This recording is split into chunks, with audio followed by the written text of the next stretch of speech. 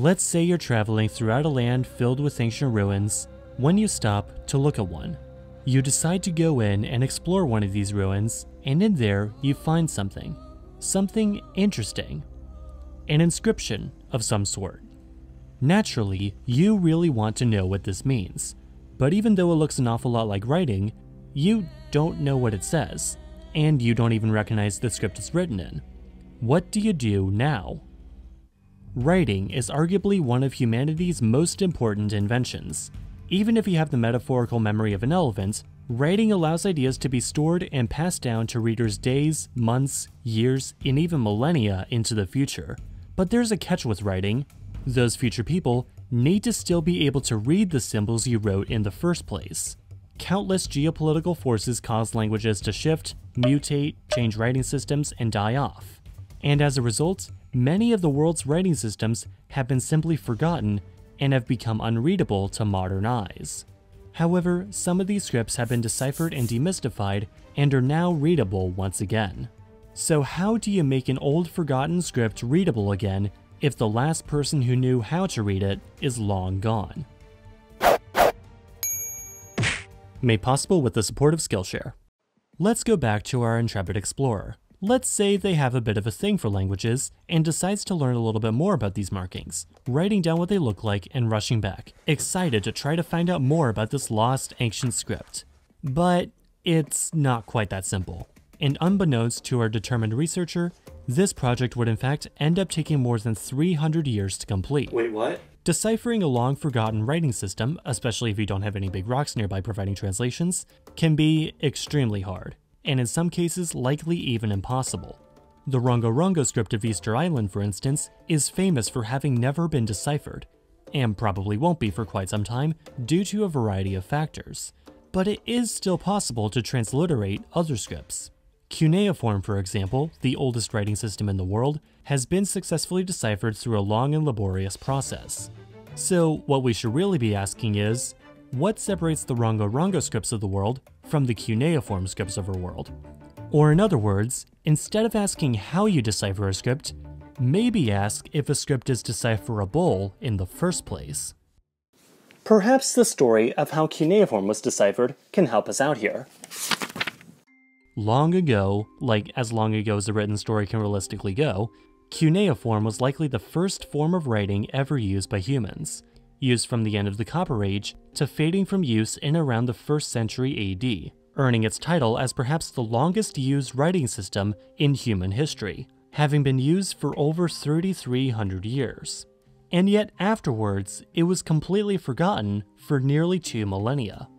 A less long time ago, European and Arab travelers in the 17th and 18th centuries frequently passed through the ancient city of Persepolis, where they noticed some strange inscriptions in the clay tablets, all made of these different wedge shapes, or cuneiforms. 17th century travelers Antonio de Juvea and Sir Thomas Herbert, although they didn't attempt to decipher the scripts, did discern that the script was written from left to right and represented words and syllables rather than individual sounds.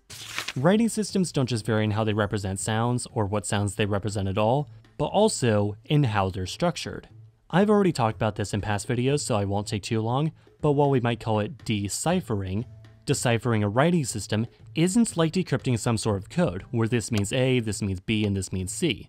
Because a separate writing system might not have an equivalent to C. Or maybe it's an abjad that doesn't write vowels at all. Or maybe it's logographic like Chinese, and therefore what's being written actually has little relation to what's being spoken out loud.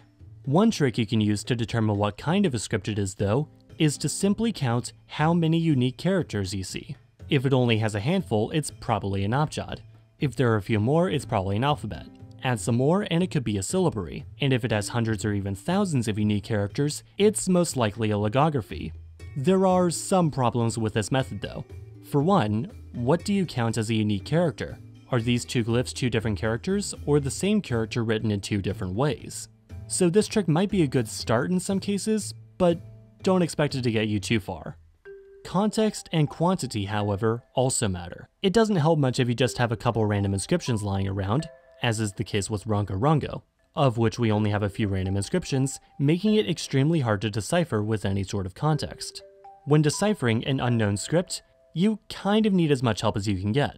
And one thing that might help is to know what you're looking at. For instance, a tombstone might have a name, or a set of dates, or an epitaph, or a warning to passersby, but probably not much else. For instance, an ancient Egyptian tomb might not have a recipe for corn dogs written on it, though this all still depends on how the culture in question treated death and how important the dead person was.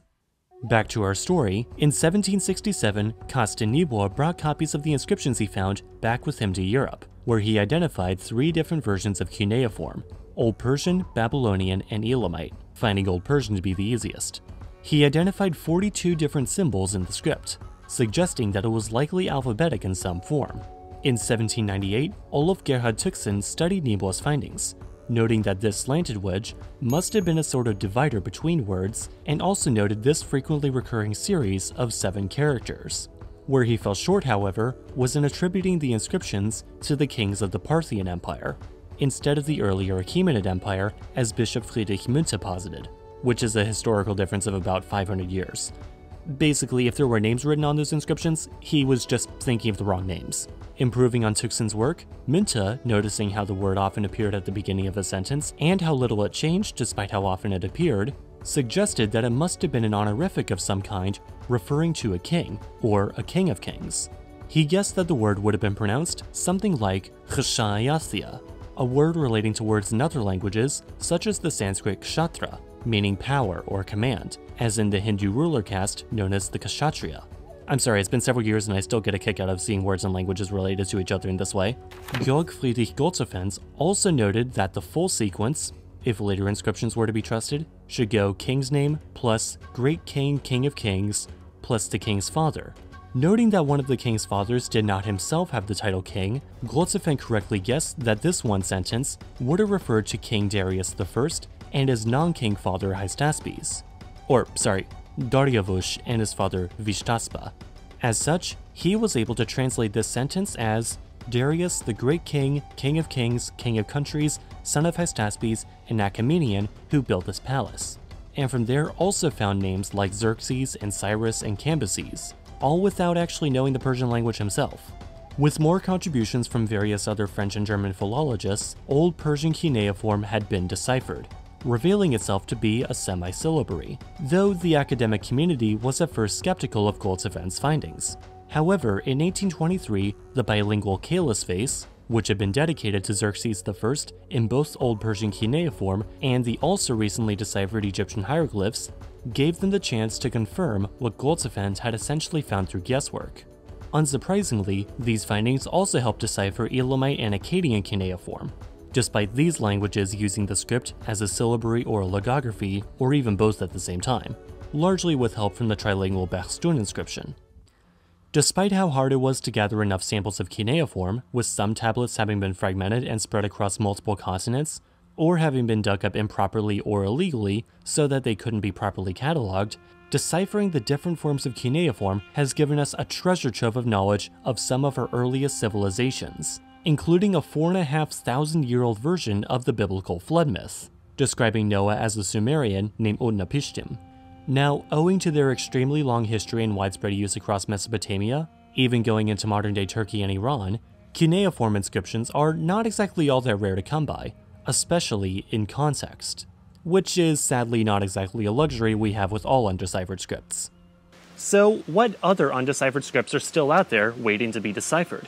Well, there's Vincha or Old European, the Indus or Harappa script, Proto-Elamite, Old Elamite, Linear A, the Phaistos disc, the Voynich manuscript, the Rohonc Codex, and of course Rongo Rongo.